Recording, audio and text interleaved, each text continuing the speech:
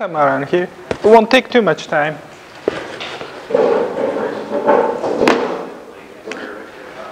All right.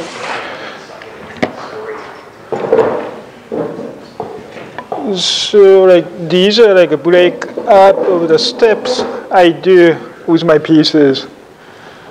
Uh, so this is my clay body, all five, and uh, I got all the recipe of my glazes body there. I will just leave it there so you know you can copy do stuff, anything like that. So this glaze, this is the one kind of breathes into the body. Okay.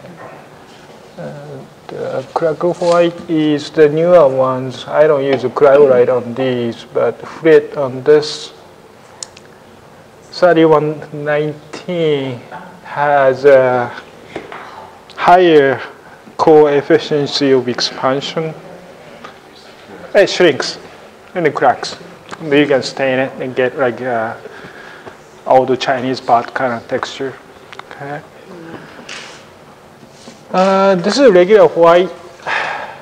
I don't use white much, but that's what I use. It's very stable. All these are 5 to 05. This is the shiny one. And uh, this is San Diego State Crawl, the crawl glaze, many of my pieces. Yeah. And uh, I stain it. It's not clear with that opacifier, but it still pass cut out underneath. Now, cone 05 is what we do our bisque firing, first firing on. And uh, we could mix up some of these glazes and fire them along with bisque. So I know we fire at a different temperature for most of the stuff, but we can also, we've got some, uh, we've got a red body that uh, we could try some of these on. And uh, you can make this kind of glaze just adding, uh, tin is too expensive, like uh, what opacifier you use? Pardon? What kind of opacifier? Pardon? I'm sure that would be fine. Like do you use a Superpax or Zico packs or Are you saying fast or? uh, opacifier? My hearing aids and your accent are, Yeah. real, I'm sorry. Okay, um, so like if you add fifty percent of uh, opacifier uh, ingredient that make your glaze is opaque or white, we use a packs, or oh, make your glaze to crawl. You get the same kind of texture as my pieces up there hmm. at any temperature. Just test it, it may flake off, so somewhere 50%, you can go up or down depending on the texture you like. Tin oxide does it, but tin oxide is so expensive. It's like, hmm. I don't know, 20 bucks, 30 bucks a pound. Can't really use it.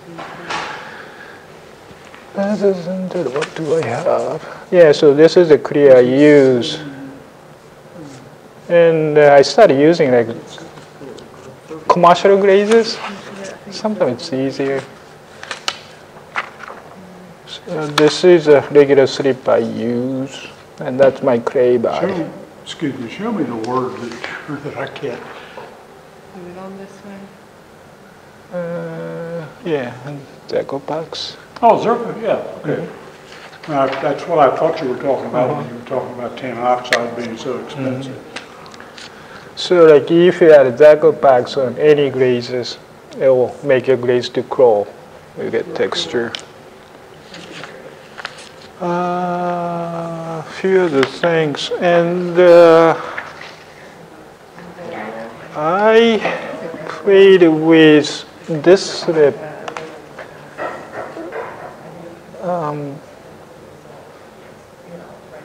I adjusted in a way so that the slip can start to melt, so that hard slip becoming more like glazes. And this original recipe was, I think, out of Val Cushing's handbook. The guy used to teach at Alfred.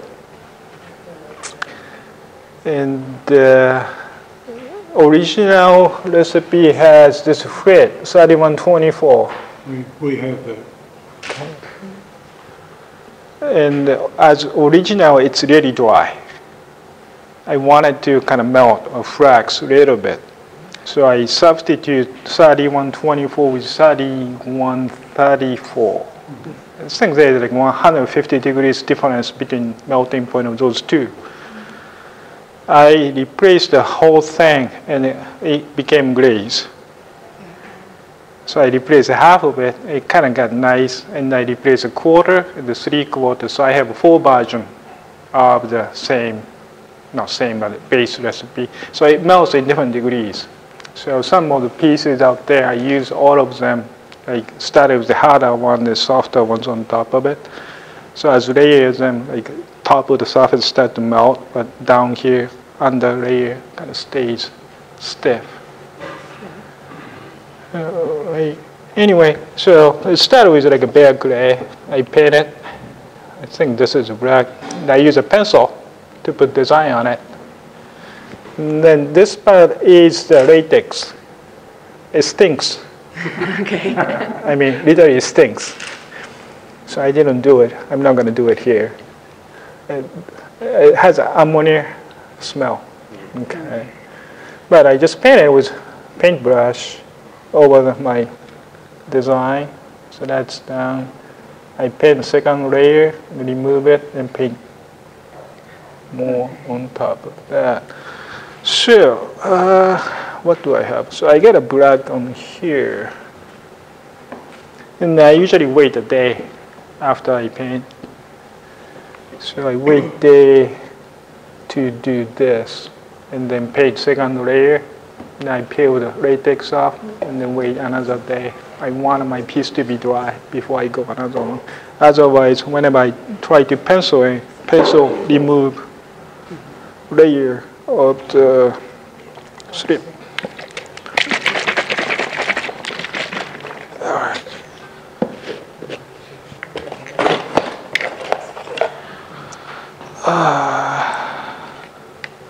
So this is a Terra sigillata.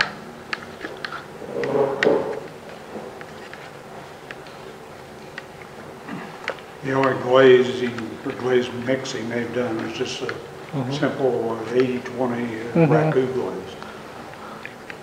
Uh, right. So really watery. Okay. It's uh, very easy to make.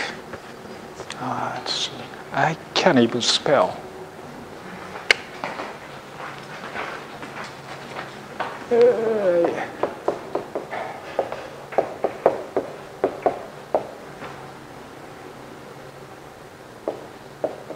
uh, probably two L's. Either two L's or one L and then two T's. Okay.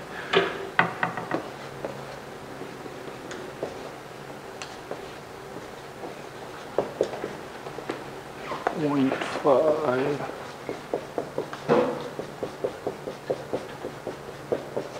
So that's all I got in there. So 70% water, 30% ball clay.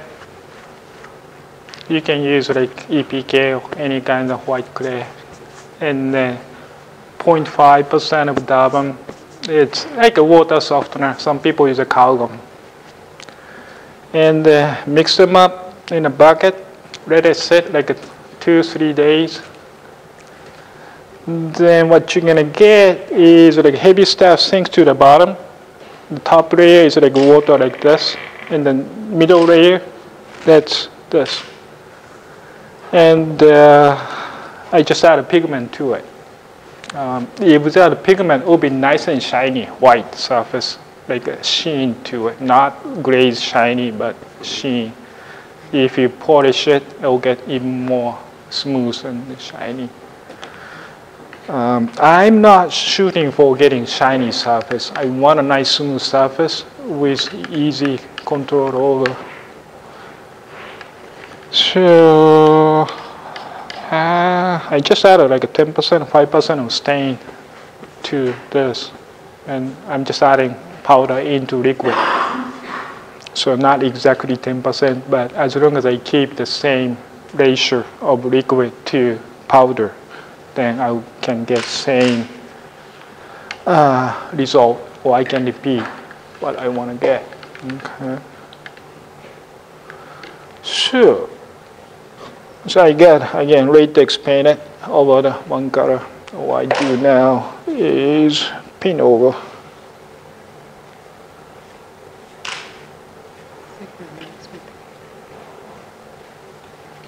Some colors I have to do more. Just let it dry. So that's where the wax, no wax, latex is. That's where. So if I have time, or in my studio, I just do something else, come back and paint over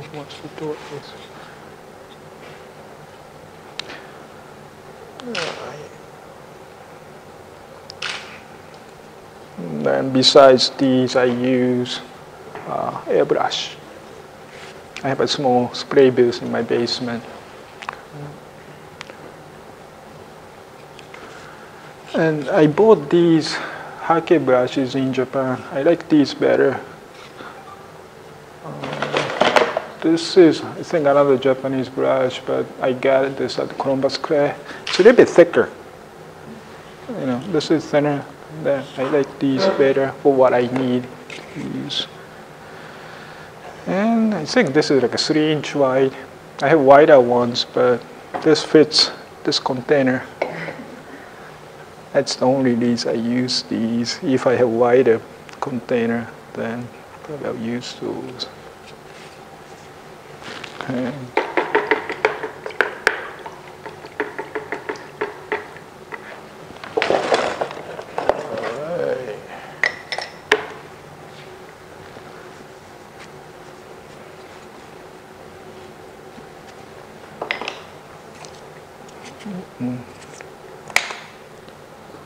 Usually I wait for the slip on the latex to dry, but it just comes off.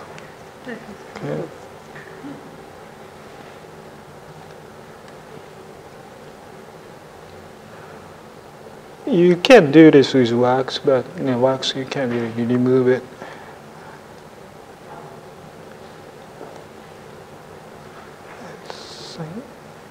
And uh, I get this latex from Axner store in Florida. It's like they only ship these during summer, or not summer. They don't ship this during winter. It freezes. But uh, I got a gallon of this a couple years ago. It's gonna last for me a while.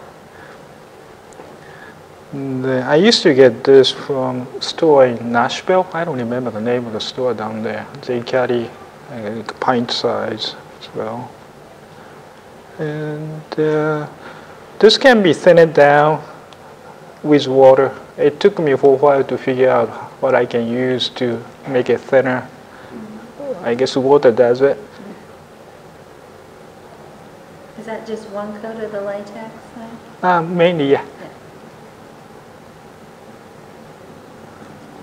So that's the step. Okay. Again, I'm gonna wait for this to dry, like overnight. Then put second design or lines in there.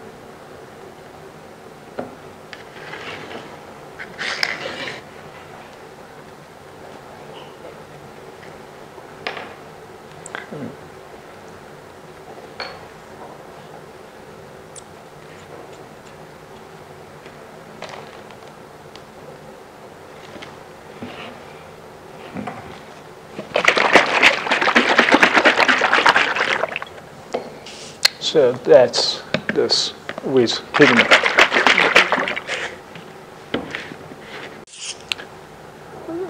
This kind of tool comes in different shapes and sizes. Um, I have a few. I have way too many tools. But for now, this is the one I like. Did uh, you also get that from Columbus Clay? Or- No, I think this one I got from Bailey, New York store in New York. Columbus Clay carries the one with like a plastic, like this kind of plastic. I got a cramp using it. Uh, my wife uses that kind quite a bit, but not me.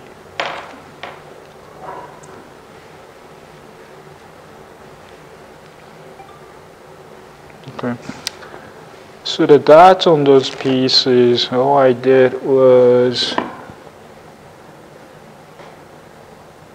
oops, just placing.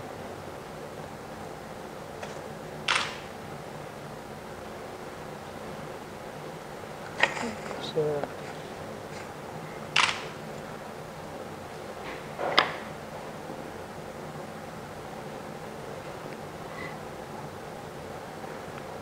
And if I make mistake, I can use X-Acto knife to scrape it off.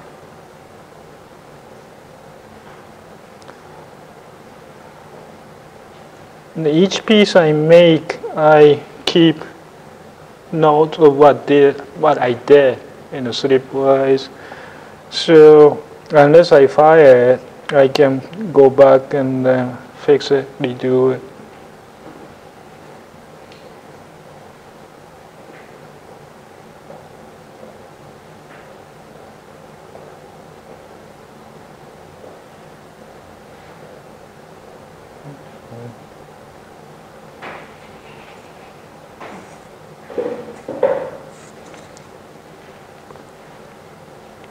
So, like sometimes people ask me, you know, if I do workshop. I'll keep doing this. It gets boring. so I can do this whole day, but I don't know if people want to look at me, at me doing that. Are you using any pressure at all on that bulb, or is that just coming out I'm using a little bit with my thumb. a little bit? Yeah. And uh, this slip is kind of thin. So make it easier. Sometimes I really have to squeeze it tight. Alright. AJ?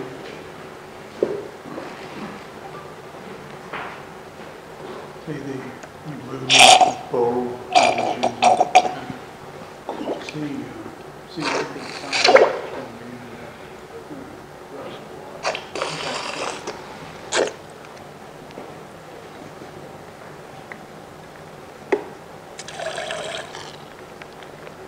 So that's how we do it.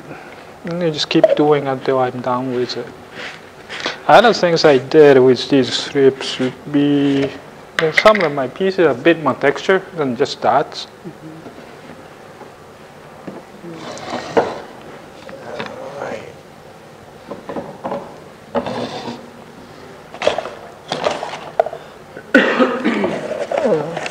So like that's the test style. Whisk. Oh, yeah. So this. Good.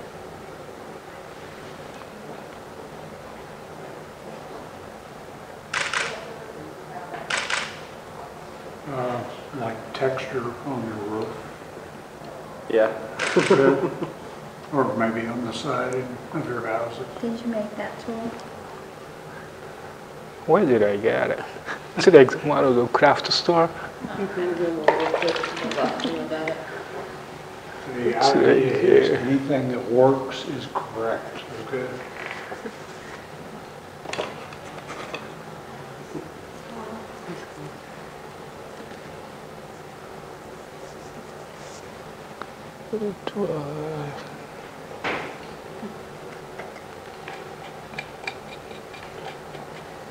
Pretty much. Probably. Do something. if you want. If any good.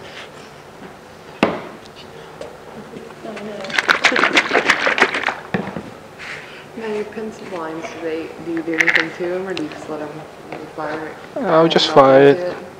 Most of the time, like uh, carbon burns out. Okay. Some stays, but I'm not worried too much about it. Let's see, it's not dry yet. So like building up the texture using this kind of brush. Oops,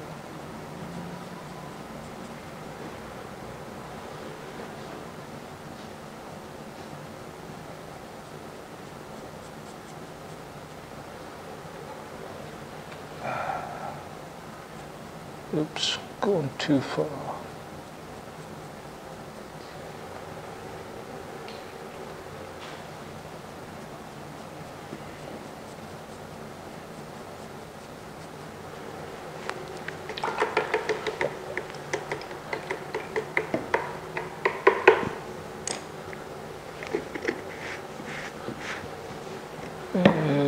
Uh, that's different color.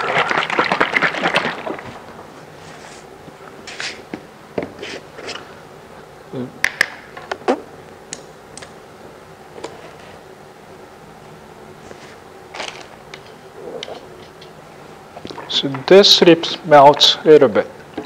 It's like a 7 parts 3124.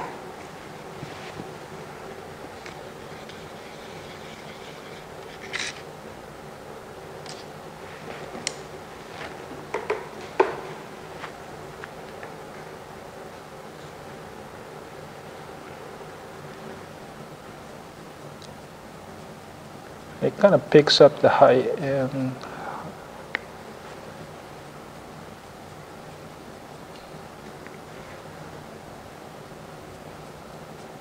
It's like a sweeping the surface a little bit.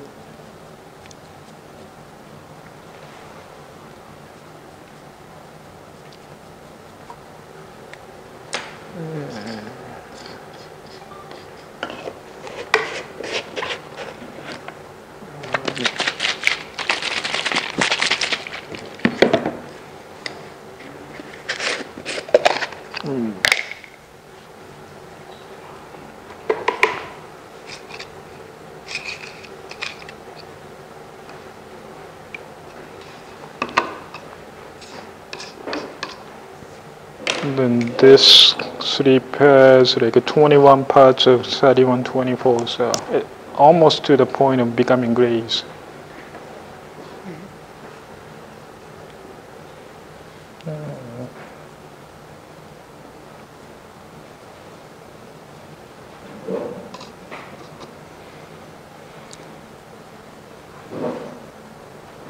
And then when this is fired, like a top layer have a blue and getting soft, shinier. Then towards bottom, yellow and uh, whatever. Other shades of blue getting softer and softer. Yeah. Yeah, just keep doing this until I get tired of it. but that's how my piece progressed from like a bare surface to either that and this. And then after best I just put clear grades or other grades on top of it. So the process is fairly static. I just sit there, keep doing it till I'm done. But again, those are the things I use. Uh, and these grades are fairly stable, so you might want to still test it, but if you make it, it should work well. Okay. Let me uh, see a couple of those.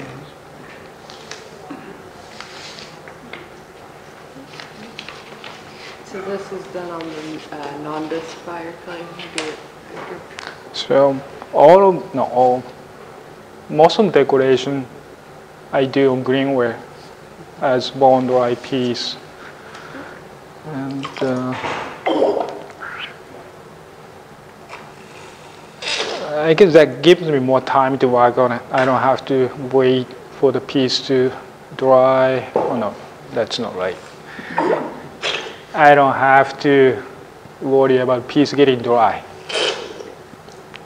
And also I have fairly good amount of time to do it. Not fair. I could have done it forever. So it seemed to work. Most of the time, people do apply these on like leather hard piece to get a shiny surface, which I'm not really shooting for. So, okay. And uh, I made maybe like a 20 gallon of that, or I started with 20 gallon of this. I get maybe half of it as this. Now, I haven't made that new batch for maybe like four or five years. So it last forever. Very efficient. So, yeah, I don't want to make clay or glazes too often. I don't like cleaning up mixer at all. Nobody does. So if I do it, I make a big batch and done with it. If was I make one batch or two batches, three batches, I still have to clean up mixer once. But uh, well, again, that's how I do it. Like really, there's much to process-wise. And like I said earlier, I try to make it easier for me. So, everything getting kind of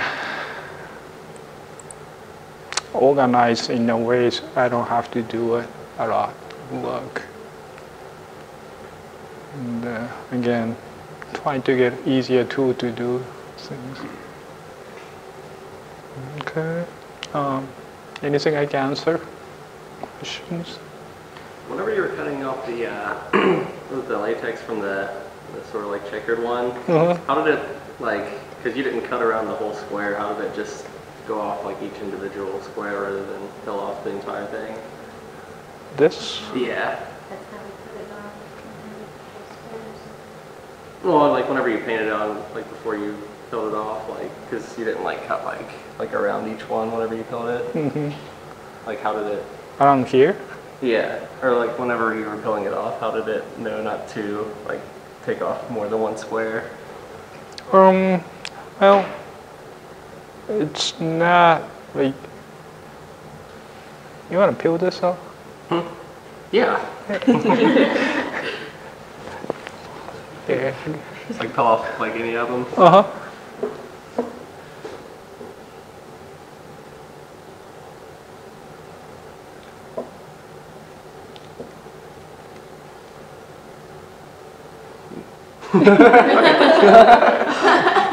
It just comes off the way I paint it, so uh, as long as they are not connected, Yeah. I can it off. Okay. Did I answer your question? Yes. Okay. In between. Okay.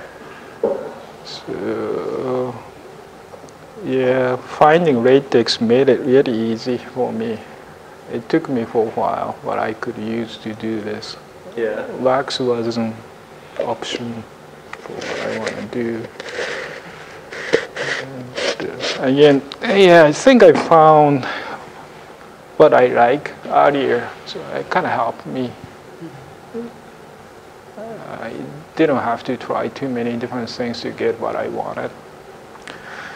And uh, so my pieces are again low fire 05, 06. I, where I teach, we used to do cone ten reduction in the gas kiln. We used to have a salt kiln also.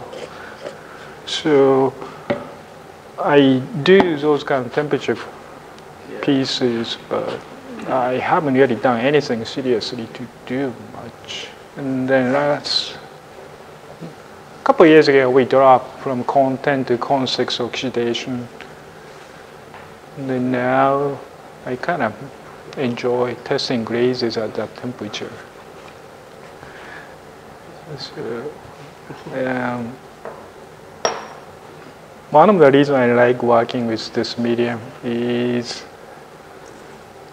there is some science into it. The glazing, the firing, kiln, gas, all the things, and uh, it's kind of fun to play with process and the medium besides making actual pieces.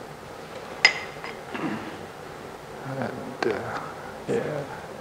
So these numbers, we used to do it by pencil and paper, calculator. Now computer does it. So, The uh, main reason why we went up in temperature, mhm. when I came here, uh, they had maybe, see the Amaco jars that Uh-huh. on top? They had maybe 300 of them. Ooh. And uh, that's $3,000.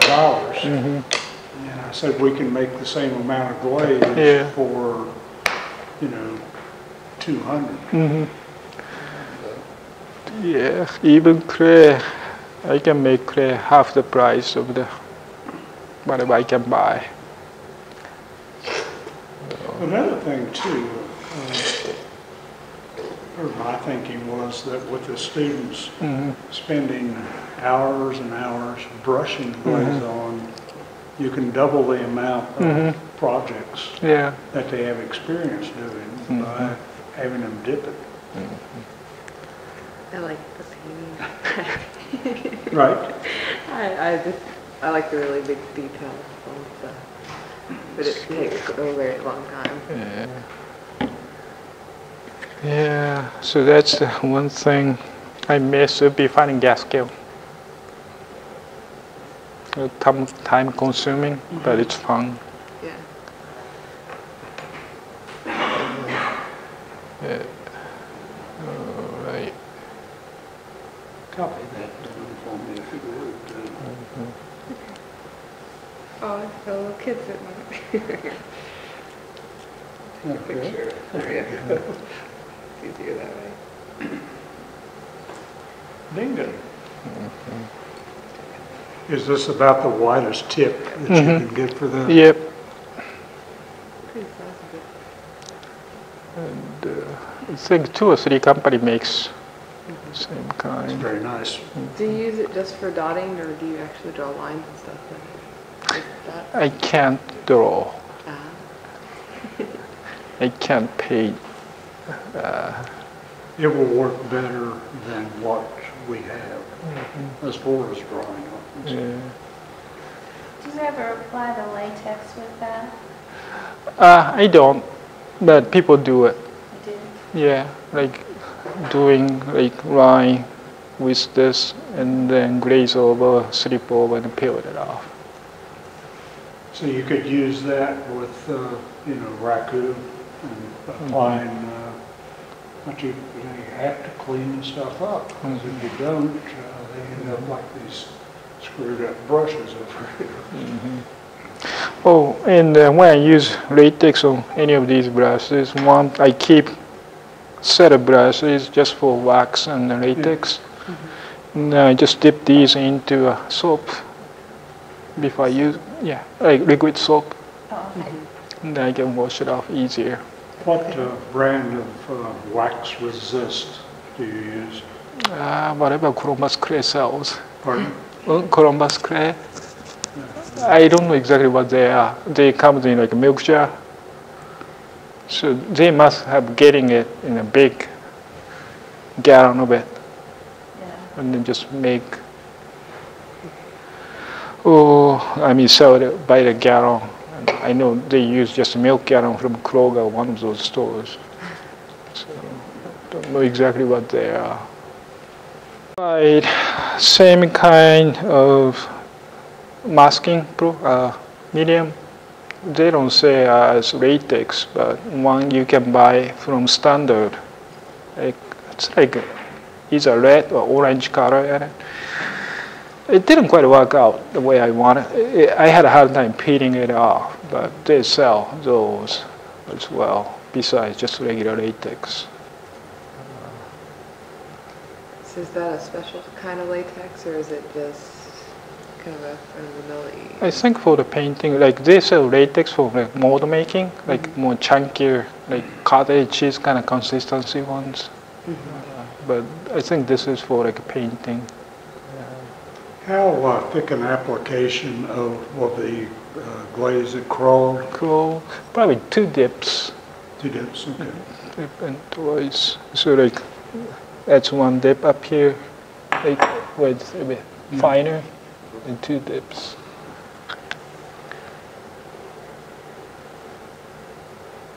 Yeah.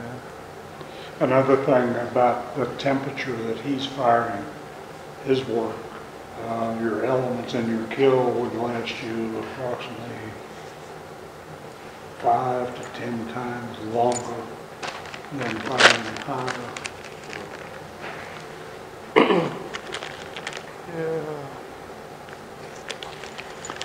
So I have test piece like this for all the slips I have.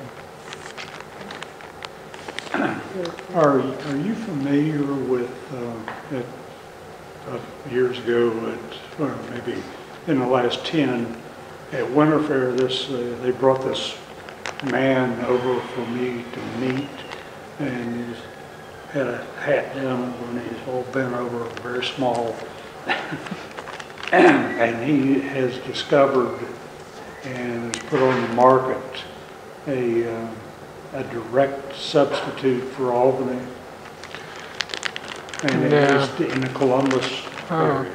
I mean, not in the Columbus area, Cincinnati area. Yeah, I, I don't The know. chemical analysis Uh-huh. on what he said he has enough Yeah. down there, and he's, he's milling it to a 400 mesh. Uh-huh. And uh, I have used it with my fake ash Uh-huh. And it just works perfect. And he's in, uh, he's in the uh, Cincinnati area. Uh, I wonder. Um, Columbus Clay sells some substitute. I don't know whether he deals, this guy deals with, Yeah. but this is better Uh-huh. than any, just I don't know if that's the one. Uh, the guy. yeah. Yeah. I mean, he, uh, he just, I guess, sells it from his, Huh. I asked him how much he had, and he said, well, enough to fill the arena that you put, to have Winter Fair Oh. in, and maybe a lot more. hmm Yeah. Yeah. It's a I, very good product. Uh, You know, I can't tell the difference when, Mm-hmm. on my glazes between, I have, still have some real Albany, Mhm. and I can't tell the difference. Uh, And Yeah. the chemical, you know, analysis on it was, I mean, slightly off in a couple of places. Yeah. All right. So, and process was very simple. And uh, a lot easier to control for me.